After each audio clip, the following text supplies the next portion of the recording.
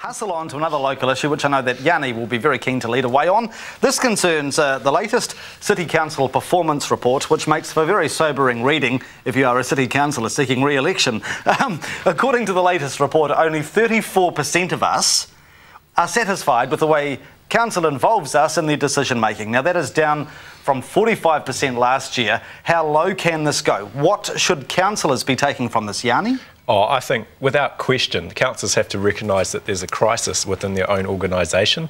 People's confidence in the council is at an all time low, and they need to take immediate steps to address it. Now, unfortunately, they've left it too late. And people like myself have been saying for the past three years of restructuring, there's a number of things that you need to do to actually address this issue. The first, and in terms of 2021, we are putting out policy to the public to say at the upcoming election, we will stand by doing a series of things. First, we'll bring back standing committees.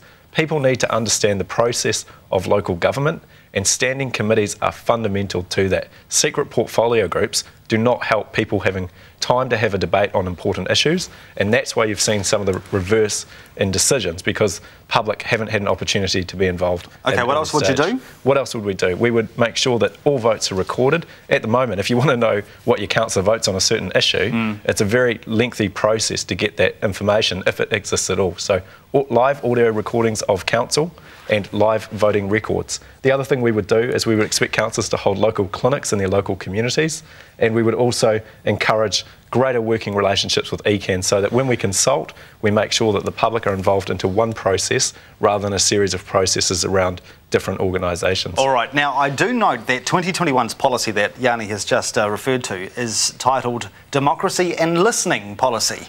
Is, is it an indictment on local body politics that we need to have a political grouping coming up with a listening policy? David? Yes, indeed. and I, I, was interested in listening to what Yani was proposing, that uh, all the things he's suggesting are things that Parliament does already.